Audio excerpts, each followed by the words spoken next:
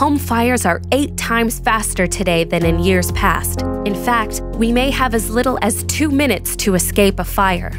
To help us understand why, we asked Ray Reynolds, former Iowa State Fire Marshal and current day fire chief, to help us understand the fire problem. People absolutely have this misconception it'll never happen to me. If it does, I can get all my pets and kids out of the home, and that is simply not true. The average person is likely to see five fires in their lifetime. So, what makes you think it won't happen to you?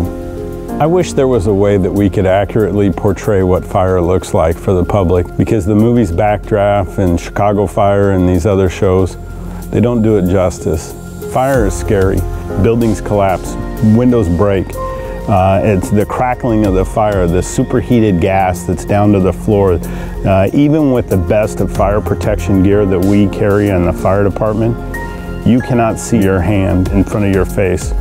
I can't tell you how many people I've been to at the scene of a fire where there's been a fatality and the family was just awestruck that they even had a fire, let alone this becoming the worst day for the rest of their life. And the thing that haunts me and still haunts me to this day is there's this outline in the bed that shows exactly how they were laying.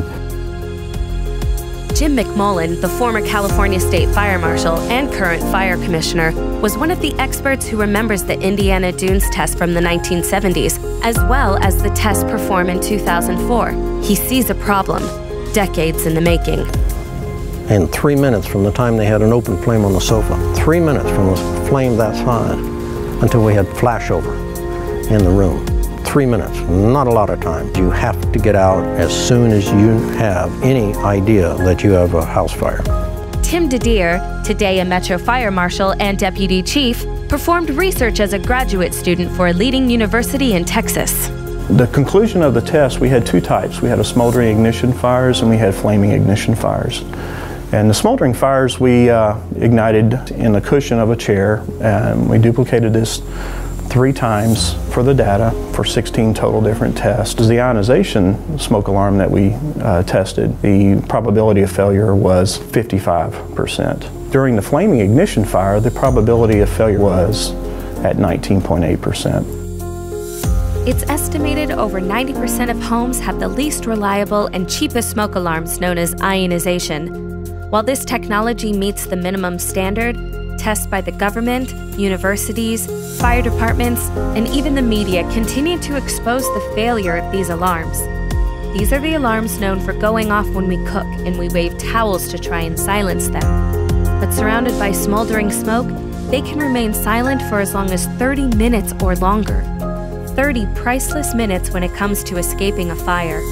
It's easy to see why the death rate remains unchanged for decades. I can tell you countless stories where somebody had to knock on a door and wake people up while the entire attic was engulfed in flames.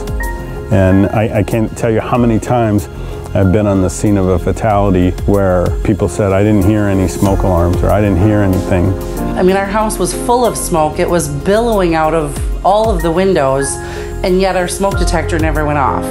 My house was at the time a four-year-old brand new home with seven smoke detectors. Uh, they were wired in with battery backup. I knew they all worked. We were very diligent on replacing batteries and things like that for it. And that's when it kind of dawned on me, wow, I never had a, my, none of my smoke detectors were going off. In a fire, you don't realize that you lose every picture, every video, everything that I've, I've ever possibly worked for. My little four-year-old who trusts me with everything, you know, I'm, I'm her, her hero, her daddy's little girl, and yet I couldn't protect my little girl. The deputy family thought they were prepared when an electrical short inside the wall of their home changed their lives forever. We'd check our smoke detectors, we kept our smoke detectors tested and batteries in them. I'd come home late from work, kids were in bed, um, I came in, it was quiet for the most part um, I got settled down. Well, nothing out of the normal. And then I heard a thump that wasn't the right kind of thump. And as a mom, that's all I can tell you. You just know which is right and which isn't. And I sat up and I went, and I sucked in smoke. I hopped up, I ran down the hallway, went through the ante room at the bottom of the stairs and went to go up the stairs, but the stairwell was on fire and my youngest daughter's room doorway was on fire. My husband got up and said, What's the matter? I said, The house is on fire. 911. I have a fire in my home.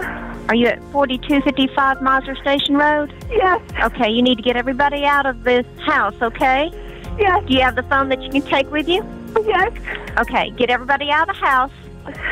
And do you know what's on fire? In the hallway upstairs.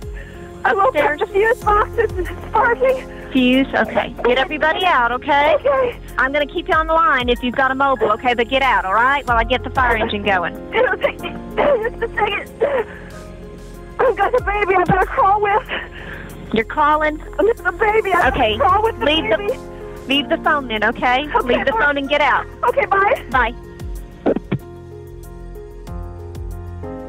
He ran outside, ran around the front to the front of the house, went up 20 stairs and kicked in the deadbolted front door. Tried three times to go in to get the kids out and couldn't do it. It was the floor was so hot. And as I come out, my husband's standing there and I said, Where's the kids? And he goes, takes I'm sorry, big hand and waves and says they're gone. And I turned around and that's the first time I had to look at the house. And as I turned around and I looked at the house, my youngest girl's room was completely engulfed in flames, and the living room windows exploded.